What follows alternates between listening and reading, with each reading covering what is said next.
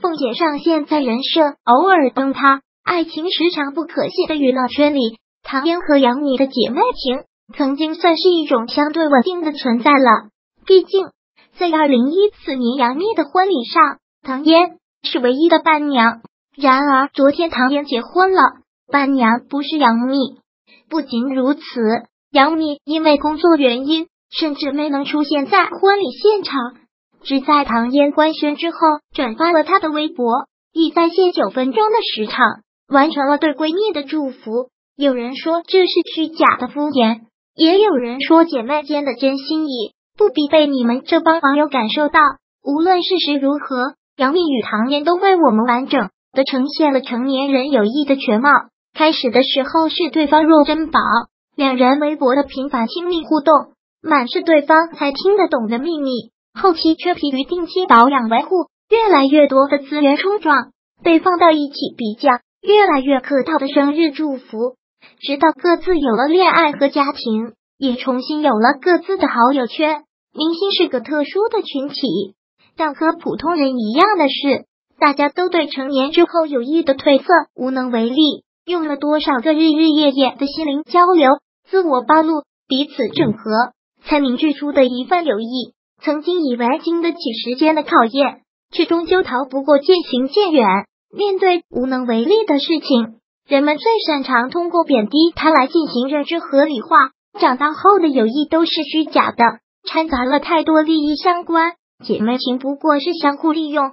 如此一来，在失去他的时候，我们就不会那么失望难过了。对自己也好，对朋友也罢，越来越被妖魔化的成年人友谊。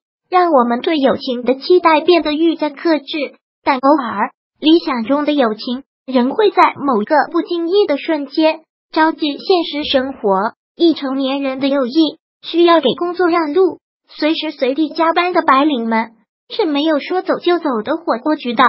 歌王通常是一群朋友中最先被抛弃的人，但真正的朋友会在我为了加班而放他鸽子的时候选择原谅我。爱成年人的友谊需要提前预约，并拼单维护。周末出去一天满满当当约好四波儿朋友，每个人顶多安排两小时当期。单身朋友是可以为了和对方出去旅游而提前半年都胆向老板一次性请完所有的年假。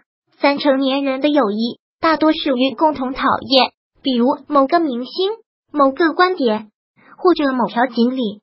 却也可能终止于共同喜欢，比如某一个人，而真朋友是那些三观经历过无数考验，最终彼此契合的人。即便共同的三观不一定那么正确，但偷偷两个人在一起飙过多少脏话，那都是两个人的秘密。四成年人的友谊是给你每一个秀猫狗的朋友圈点赞捧场，并评论太可爱了，但真朋友。是你出差前可以放心的把猫狗交给对方寄养的那个人。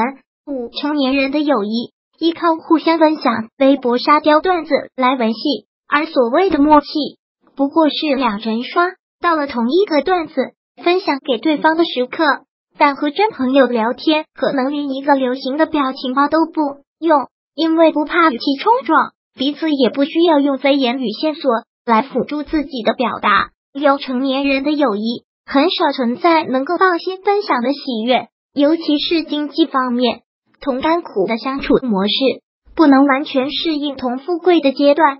但面对真朋友，是我问你借钱时，我不会有亏欠感；我借钱给你时，我不会有恐惧感。七成年人的友谊是客气有度的，毕竟是两个独立的个体，谁的底线在哪里，谁的死穴又在哪里，是一个高深的课题。一旦把对方当成真朋友，说一声正儿八经的谢谢，都会让人怀疑彼此是不是疏远了。宝宝和爹这样不让人误寒的称呼，绝对是不存在的。八成年人的友谊是有间歇起伏的。如果对方最近刚好失恋，那么你们的友谊可能会暂时达到一个峰值。但真朋友，就算忙恋爱，也不会将你冷冻结冰。从不会让对方感到自己是空窗期备胎。九成年人的友谊是当面商业互吹，背后却能从别人那里听到八个版本。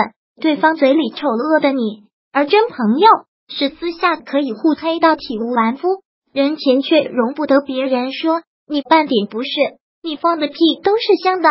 十成年人的友谊，会有功利性的交流，相互寒暄、开场白、了解近况、真实诉求，每一句话都是循序渐进，奔着拉近关系的目标而去的。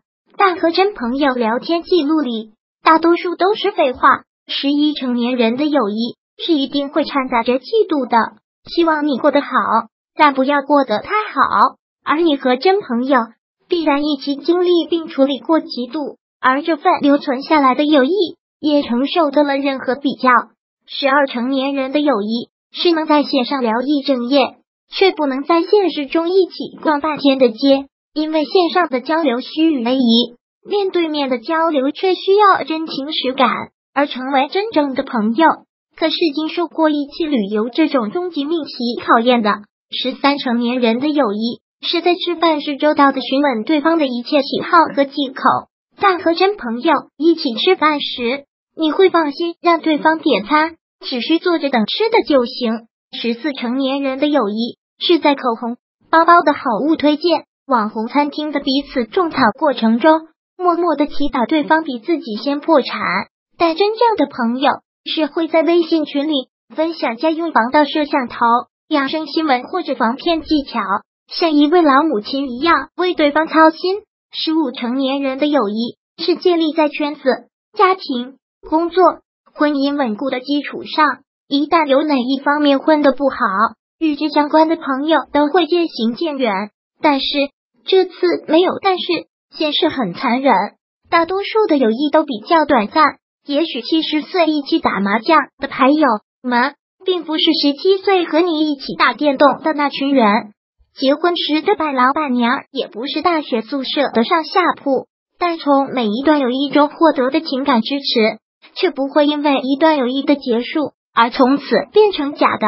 成年人的生活如此辛苦，相比于工作、家庭。友谊也许永远不是你在分配时间和精力上的第一顺位。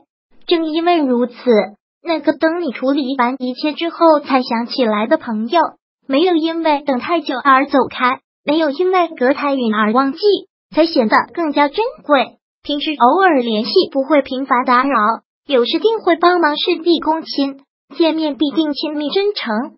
这大概是成年人友谊最好的状态。编辑。Rocko 鸭子专文，鸭子、金子、橘子、小猪。三赞。Nano 插画，Frederick Multi 版式，花生米。还想看更多月季 Self 已经改名为黑凤梨实验室，到黑凤梨实验室，加到你的星标关注吧。